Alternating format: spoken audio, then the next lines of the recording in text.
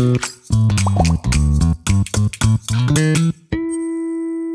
everyone, Ilana here from teachtraffic.com and in today's video you're going to learn how to create a Google search campaign the right way without making the classic money wasting mistakes that I see people make. So in this video I'm going to go through seven different mistakes that I see people make and if you make it to the end of this video, I'm also going to throw in a bonus mistake as well.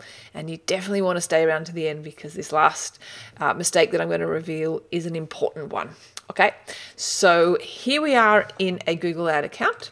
Okay, and uh, this is just in the main interface. And before we get started, we're going to need to know where we're going to send the traffic to when we create our search campaign. Okay, so for the purpose of this example, I've got this page on my website where, um, as I said, you know, when we create, start writing our ads, we've got to put in the URL. So just keep this handy for um, for when we get up to that point in this video. Okay, so the first classic mistake that I see people make is they don't set up conversion tracking. Now, if you don't know what conversion tracking is, that is your way of telling Google what is success to you. What's your goal? What are you trying to achieve? Okay, so if you're an e commerce store, a conversion would be somebody who ultimately purchases. If you are a local business, it might be somebody filling in a contact form or picking up the phone and calling you, etc. So you need to set up conversion tracking really before you start creating any campaigns because once your campaign is up and running you want to see if it's working you want to see if the money you're putting in is resulting in um, leads and sales etc and that's really ultimately how you're going to be managing your campaigns going forward okay so you need to set up conversion tracking and that's the first classic mistake that i'm going to um, talk about if you're not sure if you've got any form of conversion tracking set up, you can easily navigate to that section by going to Tools and Settings. If you go to Measurement or Conversions, or you might have a, a diff, bit of a different view to me um, in in this um, screenshot. But basically, you're going to the conversion section, and there you will see if maybe somebody else set up conversion tracking for you, or if there's any form of conversion tracking there. It's sort of beyond the scope of this video to walk you through how you set up conversion tracking. Maybe that's another video you want me to create, and if so, you can just let me know in the comments. Um, but really, that you need to have that set up. Okay, so that's the first mistake that we're going to go through. All right, now we're going to start creating our search campaign. So I'm going to click on this big blue uh, button with the plus and it's going to ask me do I want to create a new campaign? Do I want to resume a campaign draft? So possibly I got halfway through making creating some campaign somewhere.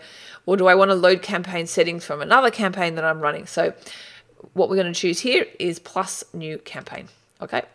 So I click this and um, it's going to ask me what goal I would like to choose. Now, I'm going to suggest that you choose create a goal, create a campaign without a goal guidance. And this is because um, you want all the available settings available to you. Okay, so I'm going to click this one. And then I'm going to click the search network. These are obviously all the other types of campaign types that you can create. But for this video, I'm showing you, as I said, how to create a search campaign. So we click search, uh, don't worry about this, and we click continue. So I want to start a new one, that's fine. Okay, I'm going to give it a name.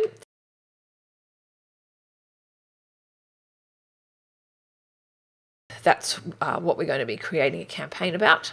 Okay, now this is here is classic mistake number two, where the default setting here, so Google's being really, really sneaky. The default setting here is to have the search network and include search partners and also include the Google display network. This is very, very sneaky by Google. You definitely do not want the Google display network. You'll get thousands of impressions and a low click through rate. Now, don't get me wrong, I actually quite like advertising on the display network, but I never ever mix a search campaign with a display campaign. Okay, so what we're going to go do is we're going to deselect this. Okay, you may want to deselect Google search partners as well. And if you go here, I'll sort of give you a bit of more information about um, the search partner networks. There's still intent there, so I sometimes don't mind running uh, search partners, but for the purpose of this video, I'm going to deselect this as well. Okay. Um, so yeah, so that is mistake number two. Okay, let's scroll down. I'm going to show more settings here. Okay, and start and end date, that's fine. Don't worry about this, don't worry about this. So this is classic mistake number three. For many types of local businesses, you probably do want an ad schedule or schedule, depends on how you pronounce it. And really, that's going to turn your ads on and off for certain types of the day. So, if you have a local type business, let's say a dental practice or a legal practice or whatever, right? You are only in your office between really nine and five, Monday to Friday. Okay. You don't want your ads to show all day at all hours. Okay. So, here is when you can select when you want your ads to turn on and off based on the day of the week and the hour of the day. Okay, so you can easily add in, let's say Mondays to Fridays, if that's what you want. And we can say, um, let's say maybe 9 a.m. to, and we can just make it 5 p.m. and just be really classic. Okay, but obviously you would choose uh, an ad schedule that you want, or perhaps if you are, you know, selling, let's say, an online course, you don't need to have that because you don't mind advertising through all weird hours of the day. Okay, so for the purpose of what I'm going to be advertising, which is an online um, course, I'm actually going to remove this. But for really, for most types of businesses, you're going to be wanting some kind of ad schedule. Okay, so yeah, that's basically what you do here. So that is classic mistake number three. All right, classic mistake number four is people don't put in their location targeting. Once again, really, really appropriate for especially local businesses. But really, even for any type of local business, no, sorry, any type of business, I would include some form of location targeting. So even if, let's say, in the case of this, where I'm promoting uh, a, a, an online course, I would create different campaigns for different countries actually. So you definitely want to apply some form of location targeting. Um, so the default here, which is the classic mistake, is all countries and territories. And because I'm located in Australia, that's here. And you can enter in another location here. So let's say I want United States and I can choose target to exclude, uh, so to include that country. You can also exclude countries. Okay, so if you make want to make sure that you don't advertise in certain places, you can also exclude countries. If we go to location options here, this is another little sneaky setting which is part of my location targeting example. The default setting here is for people in regularly or who've shown interest in your target locations. So this default setting means that my ad would show um, for somebody who has shown interest in America. So let's say somebody who's in Europe and has shown interest in things in America then my ad will show. So it's a pretty sneaky setting by Google. So if you really, really want the most, uh, loca- I guess, tight location targeting, so you only want the people in that area, then the one that you want to choose is this middle one, people in or regularly in your target locations. Okay. And you can, um, yeah, so if you don't want to, let's say, target a whole country, perhaps you're a local business and you just want to target people in your area, we can take it a bit more granular and go to advanced search here. And here we can do what's called radius targeting. So let's say um, I'm in a suburb in, oh, I'm located in Sydney, but we'll just do Bondi, okay? And so Bondi Beach, we can target what's a 20 mile radius here. So if I do target that, you'll see it's done a 20 mile radius there. So you can do uh, radius targeting that easily, really. Or if you want to change the 20 mile radius to kilometers, that we can just do kilometers. Let's, we can make it five kilometers. We type in Bondi again and we target and you can see it's a much smaller circle that's gone around that way. Okay, so depending on what type of business you have and where you want to advertise and what's appropriate for you, uh, that's the way you might sort of refine it even more. Because if you're, let's say, a dental practice in Bondi here, you don't want to advertise all of Australia because somebody, you know, you get the idea. Okay, so I'm going to close this, just cancel that. Cool. And you can also take the extra layer of insurance and also exclude a country as well, if you like. So let's pretend we want to uh, exclude Australia for fun, uh, Australia, and we can also exclude it this way. And this way we can, you know, you might want to uh, add an extra layer of security that way.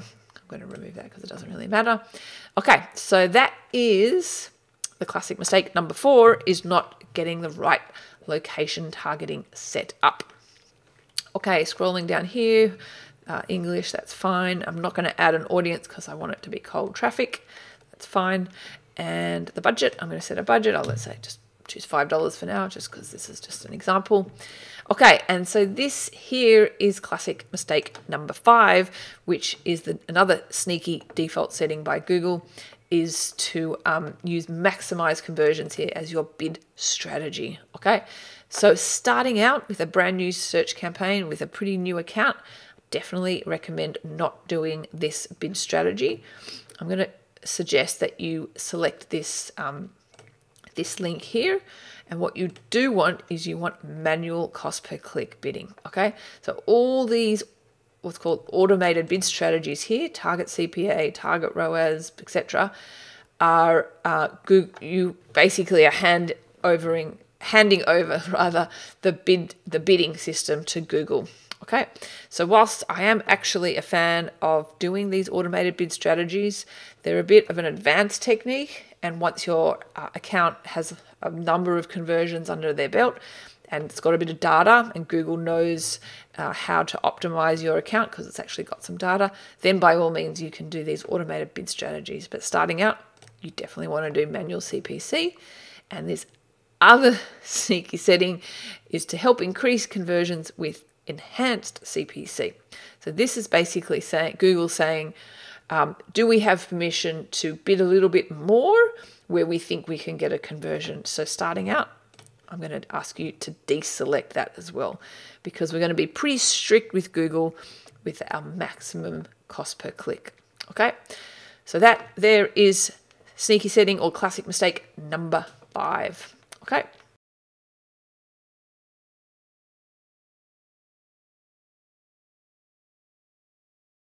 All right, so this is when we're going to create an ad group and I'm going to just call it uh, Google.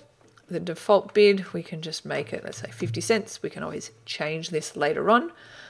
And here is where we're going to start putting in some keywords. And this is where it's going to be our sixth classic mistake that people make, whereby they don't create keyword themed ad groups. What they do is they create one campaign like we've done. They've got one ad group, which we're doing now, and then they put all their keywords in this one ad group and all their keywords somewhat related to each other, but largely unrelated to each other. And it's a classic mistake. So you want to make what's called keyword themed ad groups. So you could kind of go the extreme method and create one keyword per ad group I personally am a fan of very, very tightly themed keywords. So for the purpose of this, we're going to put the keywords in here. And um, for, uh, so for example, we're going to say, um, I'm going to do phrase match and say uh, create Google, oopsie, Google retargeting. Okay, and this is with the inverted commas saying to Google that these words need to be present in this order in order for my ad to show. So the classic mistake as well is for people to not put any syntax or sort of, uh, as you can see down here, keyword. If you put a keyword without any syntax, it's what's called broad match, in which case your ad might show for really lots of unrelated terms. Uh, inverted commas is phrase match, and if you put square brackets around the keyword, that's exact match. Okay, talking about match types is probably a video in itself as well, so I can go into more depth in that. Uh, but for now, just know I'd say just use phrase match because um, the one that the match type that is my preference, there Google have announced uh, at the time of this recording about a month ago that they're retiring it. Okay, so we're going to put in variations of this.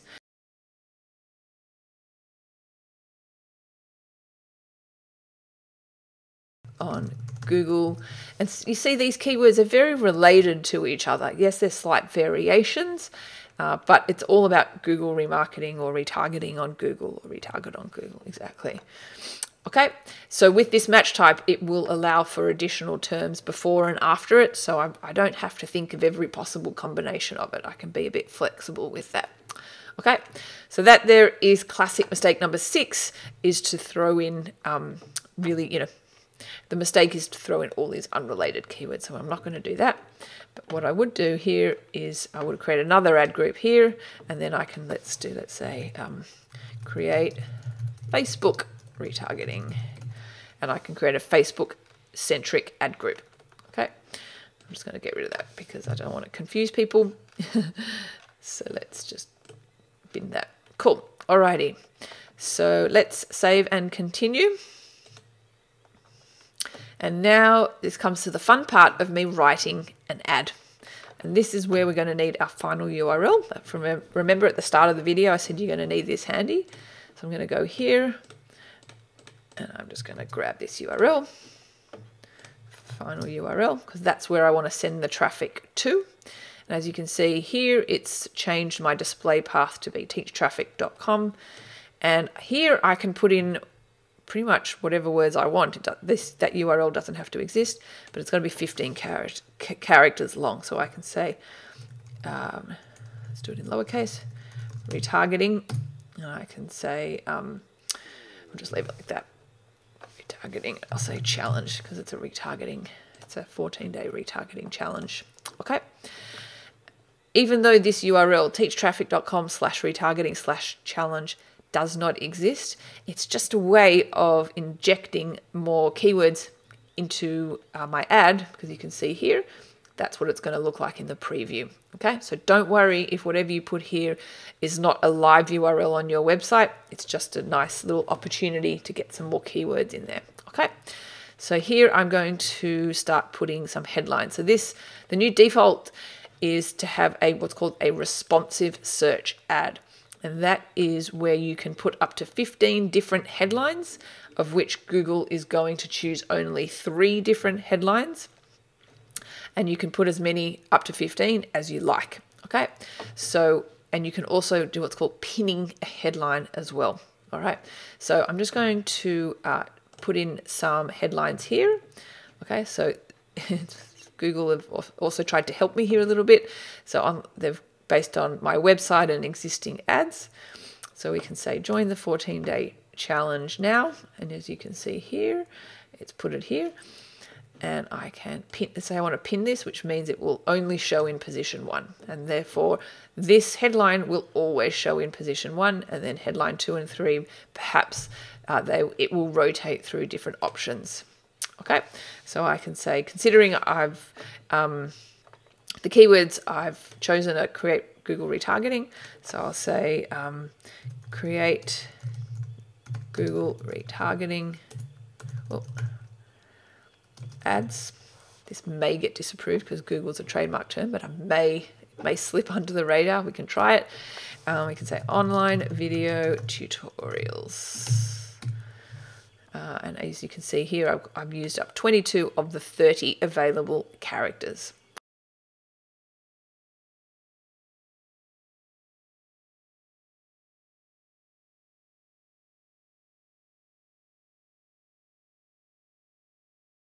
Obviously, as I said, if you exhausted all the all the options here and you want to add more, you just keep adding headlines here. And as I said, you can add up to 15. Okay and I've pinned this one here. If you want to unpin, just click this and you just put it there. Okay. And then we can write our description as well, uh, which allows us up to 90 characters. Okay. So I'm going to say